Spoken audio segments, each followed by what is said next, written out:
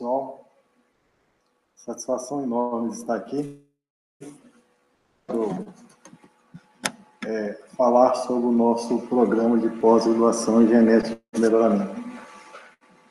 Inicialmente, eu começaria a falar sobre esse programa, onde eu tive a oportunidade de participar como aluno, professor orientador e também como coordenador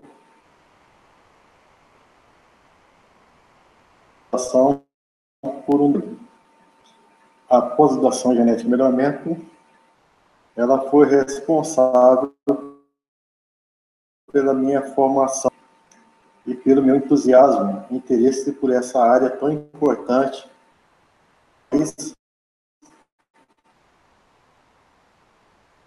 sociedade como todo produto, como também dos produtores, agricultores e todos os indivíduos que se envolvem nessa cadeia produção e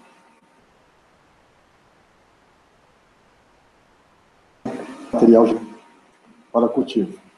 Então, sou muito grato por todos os professores, formação, treinamento, onde nesse aspecto o grupo de docentes, departamento de fitotecnia, teve um papel fundamental. Professor Tuneu, professor Tribos Vieira, professor Casale e tantos outros. Também importante a formação a época, o professor Laed, já aposentado, professor Tibor, professor Condé, também aposentado, professor Daí, e hoje é levado à frente que todos conhecemos. Também muito a minha formação na área de genética, em especial departamento, professor Zé Carlos Silva, Moraes Barbosa e professor Saraiva, professores aposentados, que contribuíram muito para a formação de todos os docentes, todos os discentes que aqui passam. Falar do sucesso do nosso programa de melhoramento significa falar do empenho professores que criaram, que solidificaram e que apontaram o caminho. Então, a satisfação, devo isso a todos, devo, eu sempre falo que essa universidade é uma exceção em tudo que se faz.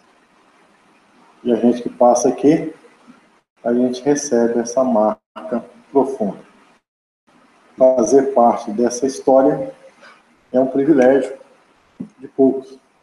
E eu agradeço por fazer parte disso.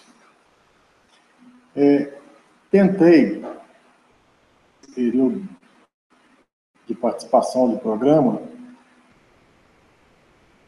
com uma contribuição como discente, fiz minha tese aqui, grande parte dos artigos publicados ou quase que a totalidade, deu ao programa de melhoramento, genética, programa de pós-graduação em genética e melhoramento, e também é, devo, em termos de é, em termos da minha conduta como professor. Né? Que foi possível consolidar ou caminhar, dar continuidade a genética do elemento proporcionou isso, e com isso nós seguimos. É, uma contribuição, além de todas essas, como docente, sempre me lembro, na época da coordenação, né, apenas para contar um pouquinho da história. Eu fui muito feliz nessa época, porque eu, eu, nesse, eu sucedi o professor Múcio. O professor Múcio é uma pessoa para ser lembrada, relembrada. E eu e ele né, deixamos aqui essa estrutura de coordenação mais centralizada. O rodízio, o rodízio de coordenação e o rodízio também de secretaria. E isso, de fato, não era uma boa estratégia. Por isso, muito se perdia com esse deslocamento. Então, foi na minha gestão e foi estabelecida essa coordenação centralizada. Eu acho que é um ponto de referência onde nós, estudantes, docentes, temos olhos, temos todo apoio. Em termos de perspectiva, eu acredito que o nosso programa, é um programa é, que tem nitidamente a sua missão bem estabelecida. A gente aqui prima por isso. É, a nossa base é o conhecimento teórico. Aqui existe uma série de disciplinas sem modismo, sem privilégio.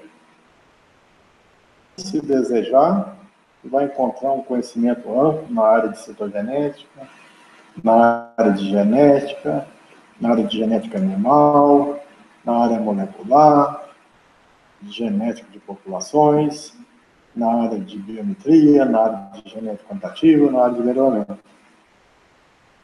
Então, nós temos essa base, um grupo de estatística também, bastante consolidado. Isso faz com que tenha uma expectativa de que esse nosso programa de pós-graduação, certamente, ele tem é, um futuro promissor, como é como foi o seu passado, como é o seu presente. Acho que a tendência vai ser, continuará ainda a ser a globalização. Precisamos inserir o profissional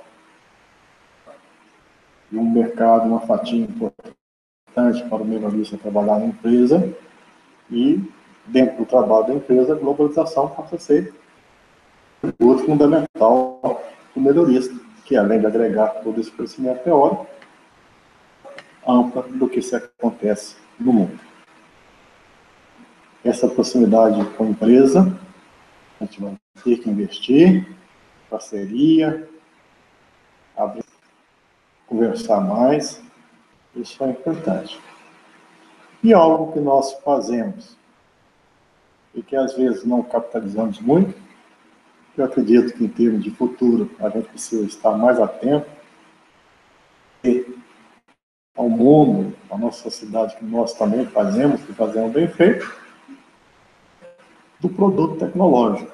Não é questão só do conhecimento em si. Que o nosso programa de melhoramento desenvolve. E continuar o nosso caminho do jeito que